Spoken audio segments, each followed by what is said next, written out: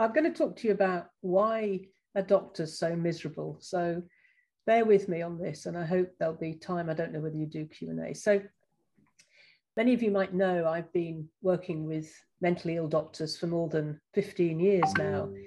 And it still surprises me why so many become unwell and why doctors have such high rates of mental illness. Doctors in the main, whatever we say, have a rewarding career. We have good social networks, we have high status, we have financial security, and we've got flexibility in our working lives. Yet, if you just cast your mind back to a few years ago with the junior doctor strike, one of the overwhelming set of placards was illustrated the prevailing mood of doctors, which was one of being demoralized, depressed, and devalued. So let me just briefly then, for the next 20 minutes or so, look at why doctors feel so much like that. Well, of course, there are many factors, uh, but let's look at probably the first one, which is the most important risk factors for doctors developing mental illness is the job, the job they do, the job we do. Medicine is a hard taskmaster. It's intellectually, physically, and emotion, emotionally very demanding. And it's not only the unsocial hours or long shifts that make it so, it's not even the vast amount of knowledge that we have to remember. One would say that my son, who's a, a lawyer, has to remember the equivalent of dozens of telephone directories. So it's not just that. It's also not just the omnipresent fear of errors or litigation or complaints. No, but what makes medicine so difficult is that we have to deal with human suffering and all of its attendant emotions. Many years ago, the sociologists Harold Lief and Rene Fox wrote about medicine as, and I quote, exploring, examining, and cutting into the human body, dealing with fears, anger, sense of hopelessness, helplessness, and despair of patients, meeting emergency situations, accepting the limitations of medical science in dealing with chronic or incurable disease, being confronted with death itself. So, working with people is complicated, it's deeply satisfying, but it's also psychologically very painful. Patients bring their unique history, their expectations, their beliefs, and desires into the consulting room. They bring their emotions, joy, sadness, shock, fear, aggression, worries, and everything else wrapped up in being mortal. And in the space of seconds, using all of our senses, we have to become attuned to their needs. For those brief moments, we become guests in their lives as they share with us their most intimate secrets, secrets that they may well never have told anyone else. So patients often stir up powerful feelings in us, in which in the main have to be understood rather than responded to. These feelings, which are not always generated directly from the patient per se, but can be due indirectly to our own personal experiences brought through to life through our, through our encounter with our patients. So, for example, a doctor whose father might have been abusive might himself experience, have those experiences reopened by someone who is violent in the accident and emergency department. Now, any of you that study psychiatry will recognize this as transference and countertransference, and both occur with any doctor-patient interaction.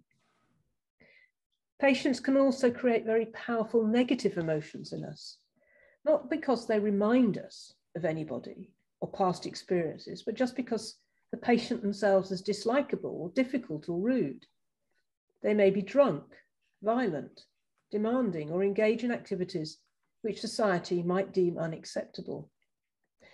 And some of us may feel guilt if we harbour these negative feelings and loathe and are often loath to admit to such emotions, except, I would say, in the safety of support groups or individual supervision, both of which are largely lacking in mainstream medicine. Irrespective of how we feel, or how tough a day we've had, or the traumas we've endured, or the sorrows waiting for us at the end of the day, In the consulting room, we must always be engaged with the patient, attentive to their needs, objective and professional. The day my mother died, I had to finish a busy clinic. It was too late to delegate the session to someone else, though I imagine this says more about my failing in accepting vulnerability than in the patient's responses had I cancelled. Despite my grief, I had to focus on my patients. I had to make them my first concern. And this is what I understand to be the emotional labour of our work, and it's hard. It's about managing or suppressing our personal feelings so they don't interfere with the act of caring or of giving to others. It's the emotional labour which accompanies the work of doctors that places them at particular risk of mental illness. The smiling waitress asking, Have you had a nice day? when she herself has had a terrible one is similar to the doctor maintaining their composure when confronted with patients or situations which make them recoil in fear or disgust. On the surface level, emotional labour means that the professional controls or changes their emotional reaction so that the observer, in this case the patient, is not able to recognise what he or she really feels. And it is this mismatch between what one expresses and what one feels that leads to anxiety, depression, and burnout.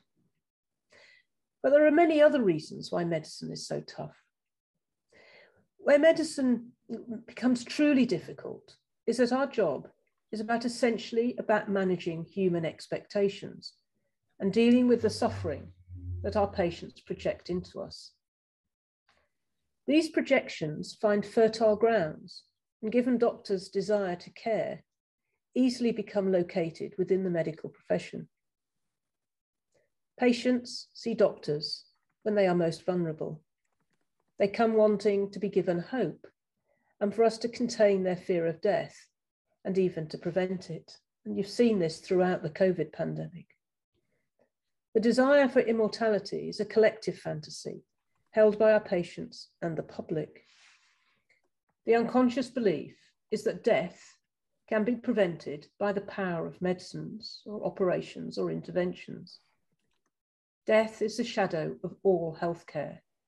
And while services are generally geared to saving life, to saving and prolonging life, the spectre of death is never far away. Most hospitals, if you think about it, have morgues on site. The psychoanalyst Anton Obholzer, Olzer has suggested that the NHS and probably all health systems should be more accurately called Keep Death at Bay service, articulating our dependency on the blood in an omnipotent service which can meet our most vulnerable and primitive needs. I, will have to call you back. We're in the middle of a medical association lecture. I'll call you at nine, okay? I think somebody's left their mute on. Mervyn, I think you're you need to put yourself on mute. So yeah, I um, apologise. Can I get off the screen?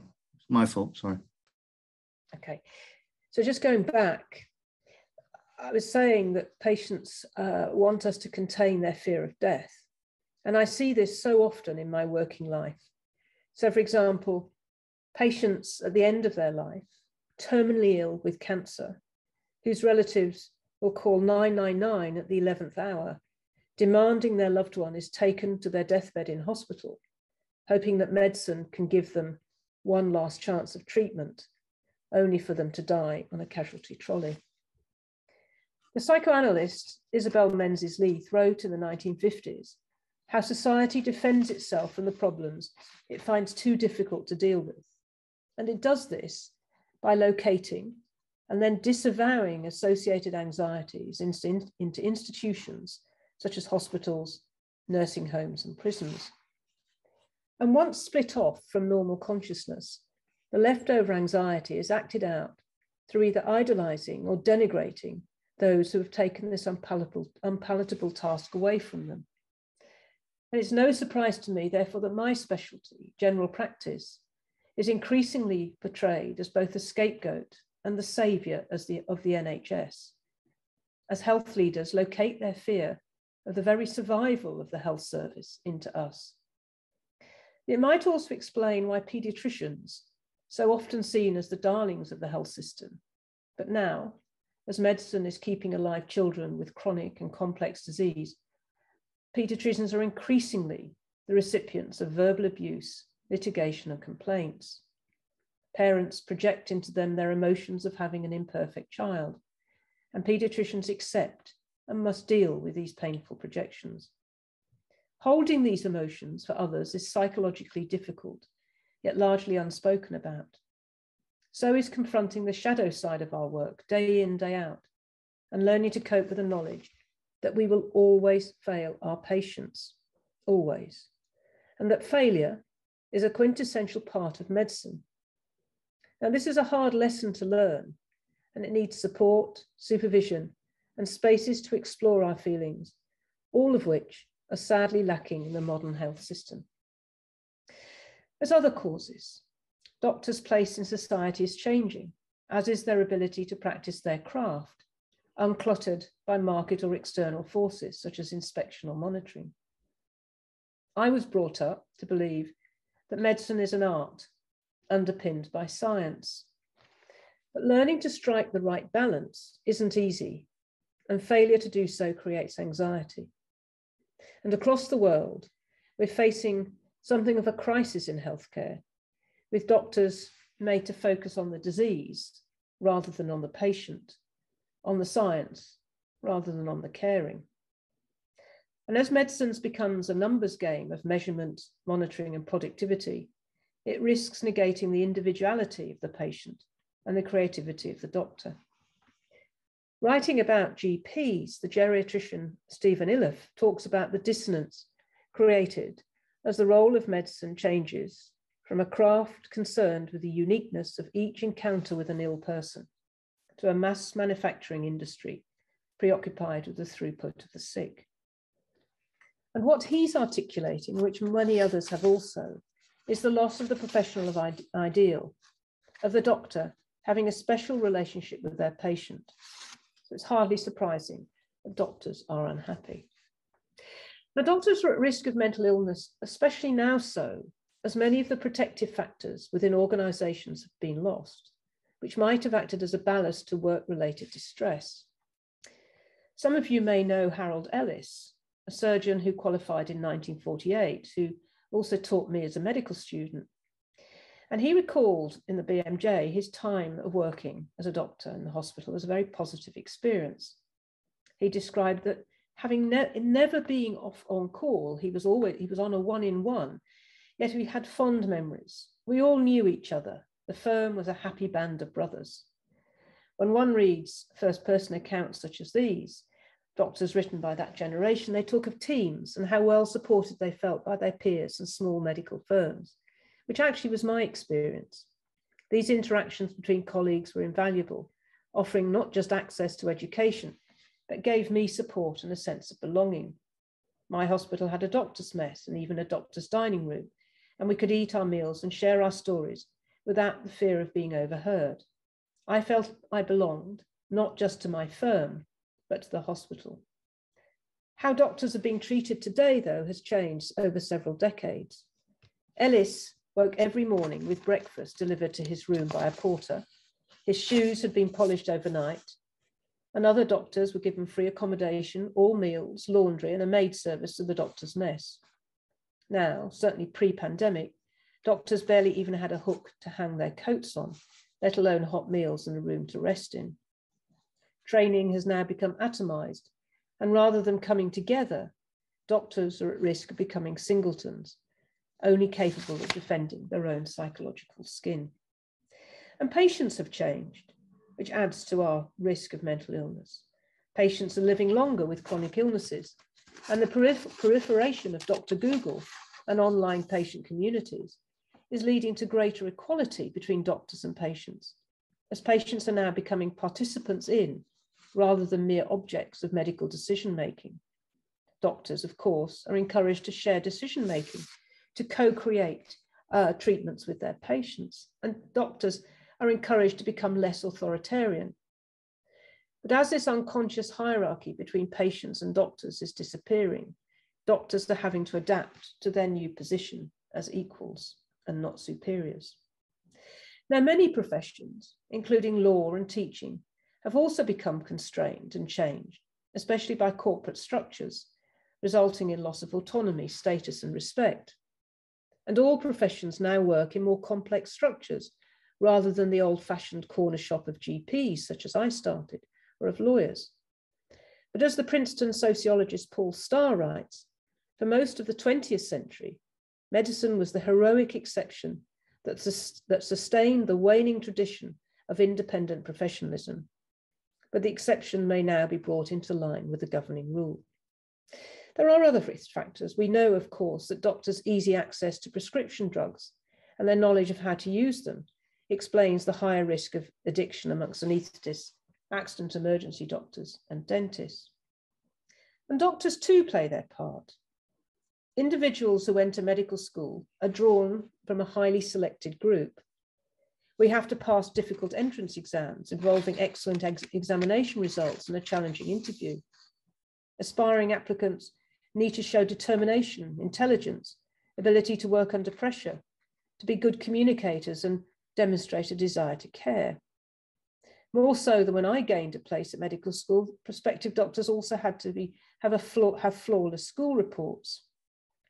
And those who got through all of these hoops shared a common set of attributes, which were deemed to foster the making of a good doctors, good doctor.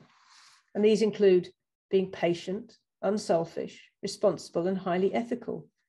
And in the face of demands, individuals must not show weakness or indecision and must always put others first. Now, these formidable attributes can become exaggerated leading to doctors becoming less tolerant of errors in themselves or their colleagues and never feeling good enough. And this can result in a virtu virtual circle of failure, procrastination, obsessive checking, and seeking constant reassurance. And symptoms can become so overwhelming that self doubt may develop into depression or anxiety. Perfectionism is also a very common feature of doctors, and this drive for flawlessness and high standards places them at increasing risk of being overly self-critical. Perfectionists are welcomed within, uh, within our, our, our, tribe because they tend to have low threshold for errors. But perfectionism also risks burnout, depression, and anxiety. And far from producing better outcomes, research has shown that perfectionism can lead to more detrimental work and non-work outcomes, as well as higher risk rates of mental illness. There are other psychological vulnerabilities common in doctors which have been identified, including our excessive sense of responsibility, our desire to please everyone, our guilt for things outside one's own control, which again is played out during COVID with the moral injury, our constant self-doubt, and our obsessive compulsive traits. The desire to study medicine as with all choices, is influenced by conscious and unconscious motivations. Consciously, the most obvious reason is because the individual is good at science, what we say at our interview, and wants an interesting career helping others. Unconscious components are important as well, especially as they might predict why some individuals are more at risk of developing mental illness than others. Whilst the unconscious motivations are mainly speculative, there is some evidence to suggest that a desire to make reparation for traumatic childhood experiences is an important component, and this might be at the root of motivation. I became a doctor due to my admiration for my father, a GP. However, despite my idolization of him, or perhaps alongside it, I might have needed to get closer to him. He left home as my parents separated when I was a young child. By fostering a love of medicine and all that went with it, meant that I had a legitimate reason to spend more time with him. I could visit him in his surgery. I could go on home visits with him, and I could spend many hours with him talking about medicine. My attachment to him, and I'm sure to mine, I'm sure his to mine, grew, and I felt special. So it's no surprise, therefore, that I became a doctor. Anything else might have felt a betrayal. A medical career might give individuals the information and skills to resolve previous conflicts as well as providing the opportunity to care for others and to give to others the care and attention they wished they would have themselves. Now, these aren't bad motives, but there is evidence that these students might present with more mental health problems when particular clinical experiences resonate with earlier conflicts. Choosing medicine in part to repair childhood experiences might predispose them to emotional distress and psychiatric illness. The desire to heal a loved one and the guilt associated with failing to do so can become channeled into a relentless drive to care more, to be more altruistic, and to work harder. And if unchecked, this will not lead to reparation or healing, but instead risks repeating the failure to cure, to cure the uncurable, which further feeds the associated emotional drive to apply oneself to an emotion to an impossible task. This doesn't mean that these individuals shouldn't become doctors. I flourished in my career, I hope I have anyway, and I hope I've been a good enough doctor to my patients. Having experience of personal trauma might predispose individuals to a real gift and capacity for empathy and caring, especially uh, if these childhood conflicts can be acknowledged and the vulnerability held in awareness. And there is some evidence for this done by Firth Cozens, where she found that those students who were more depressed, both as students and as house officers, tended to be more empathic, more self critical, and more internal to their attributions than their peers, all of which would appear to be desirable attributes to doctors to possess. So you can see that in this brief talk, I've touched on individual factors as to why doctors might be more at risk, their personality, their search for meaning, their access to medications and drugs, which others may not. I've touched on aspects related to work, the fact that con, uh, front of house and back of house medicine is a hard, a hard job to do. And I've talked about the emotional impact of the job that we do, which can never be underestimated.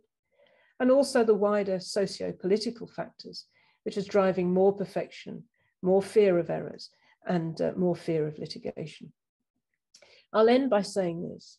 What's probably the most surprising factor of the last 15 years of myself managing doctors with mental illness is not how many doctors become mentally ill, but actually how few doctors become mentally ill.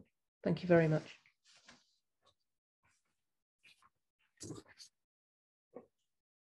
You're on mute, David.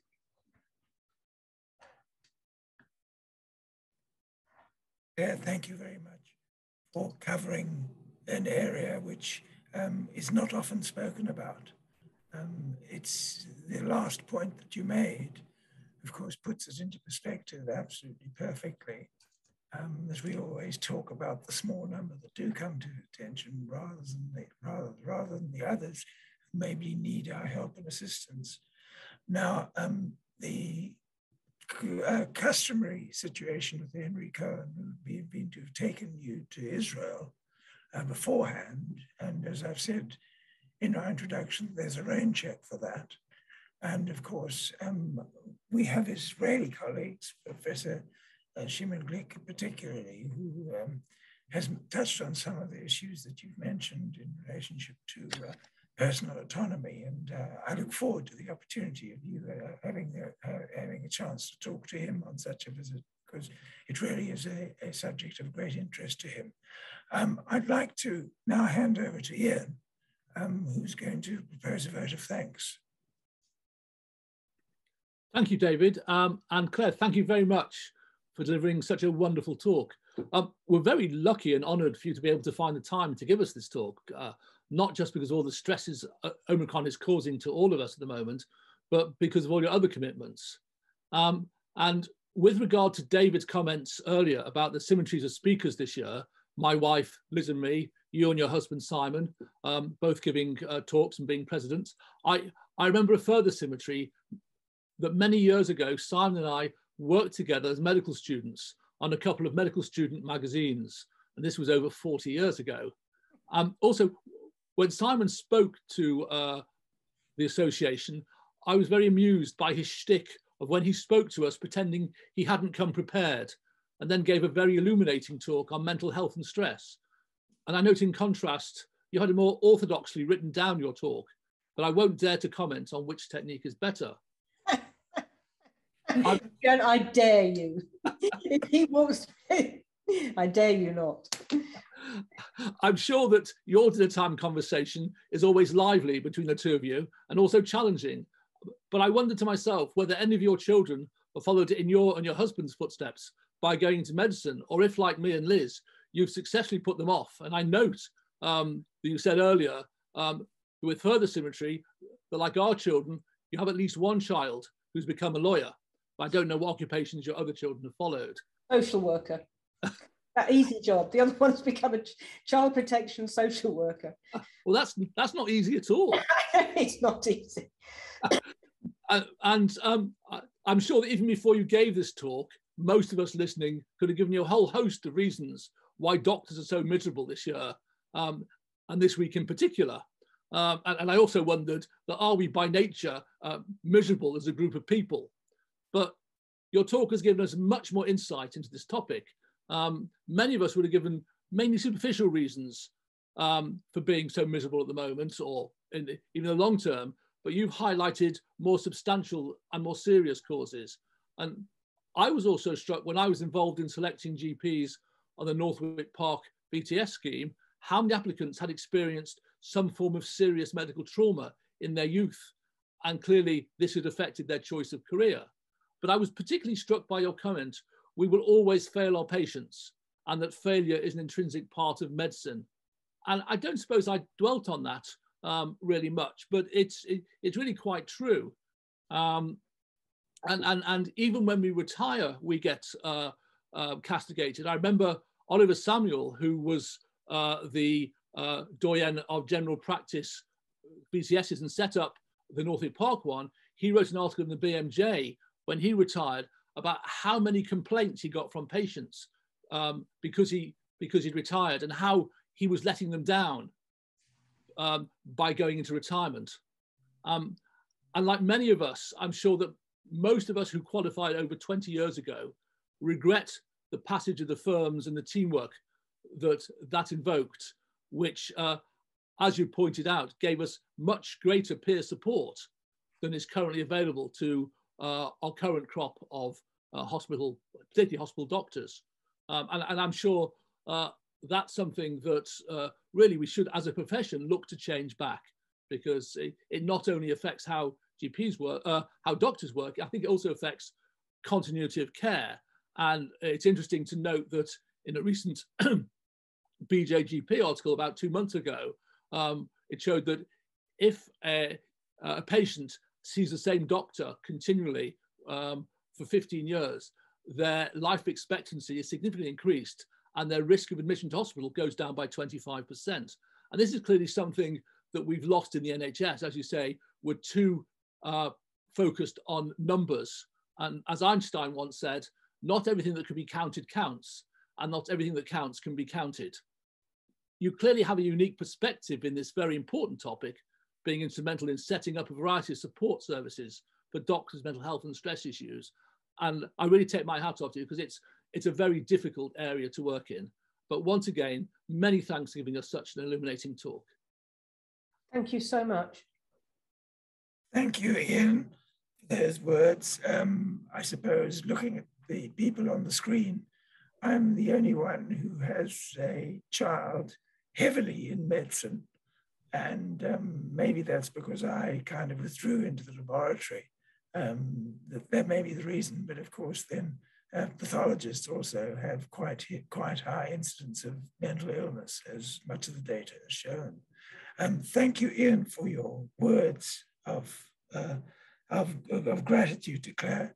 And I think you really summarized uh, what all those who are fortunate enough to have heard you uh, tonight uh, feel.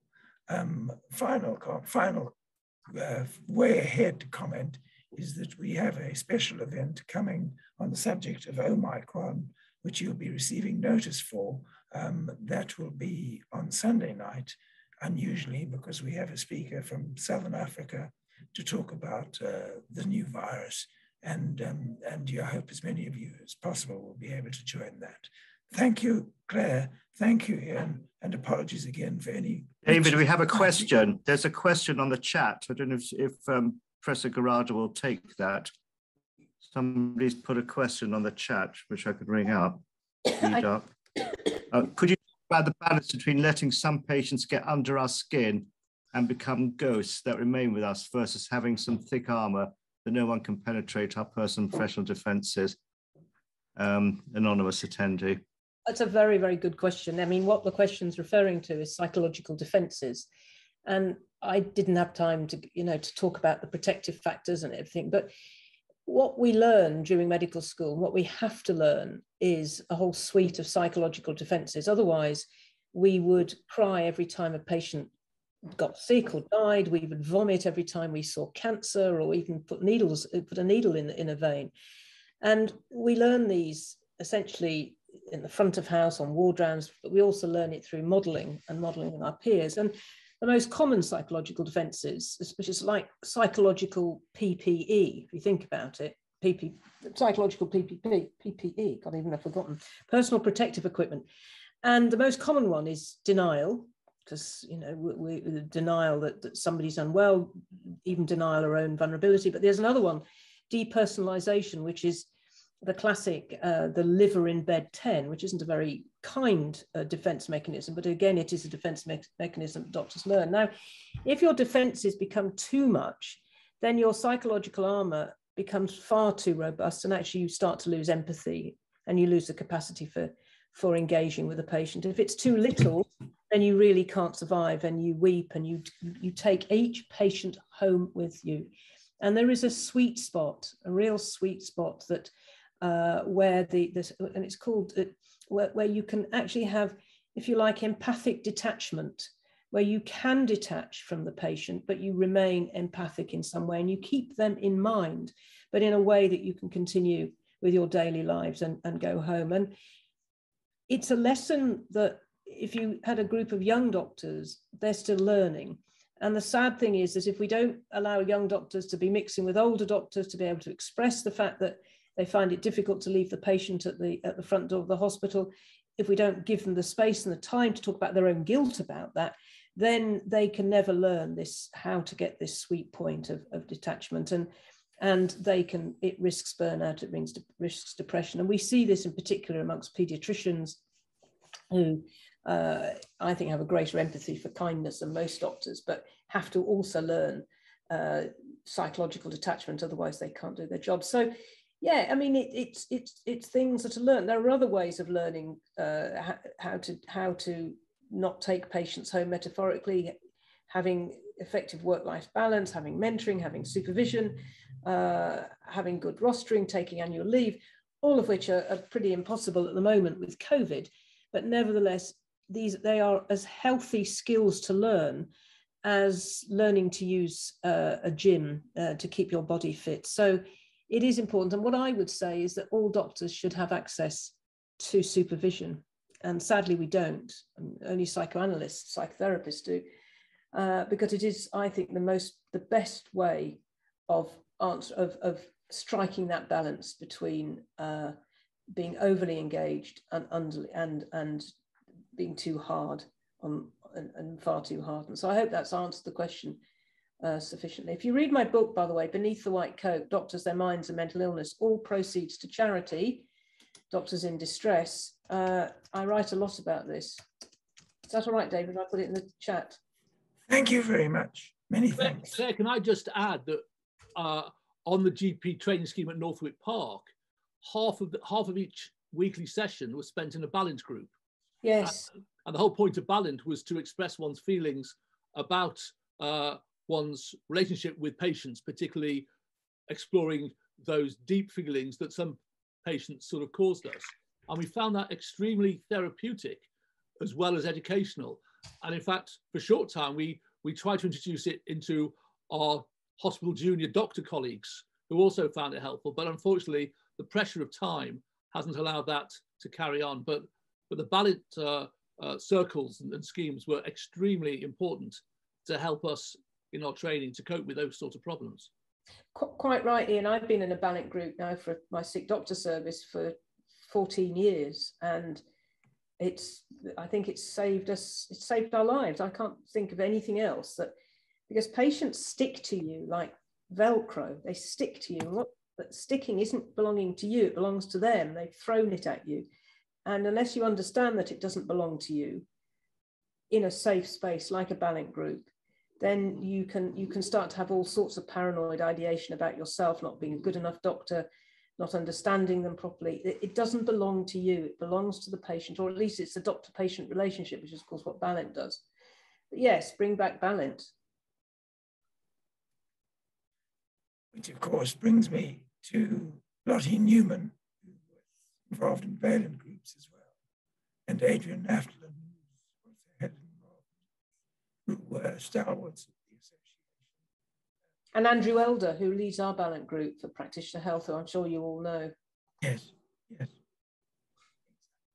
I mean, that's very important uh, part, of, part of the history was the existence of Balint groups that worked with this David, I'm losing you. I, I can't hear you very well. Sorry, it's a long time ago that these the, the, the stalwarts of the association were involved in the Balint groups. And um, it, it, it, I think it troubled some of them that an immunopathologist was somehow um, playing playing a role when he, he wasn't in quite the same the same league. But um, uh, really, I, I, thank you very much once again, and uh, we're absolutely we're proud that we've been able to listen to this lecture and to listen to your response to the question now. Thank, Thank you. you. very much. And good luck with all your other endeavours. Take lots of love, everybody. Keep safe, get your booster, etc., etc., and be nice to GPs. Thanks. Thank you.